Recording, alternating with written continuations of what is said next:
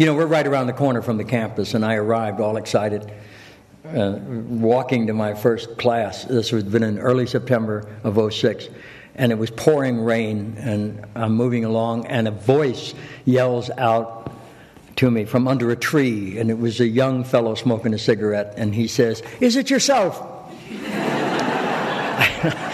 That was the first time I talked to a tree, and I, I was astonished, and I said, Tis. And he said, Where's your minder? I said, My what? I, what, do you, what is a minder? He said, You know, your tug, your bodyguard. I said, I've none. He said, More power to you.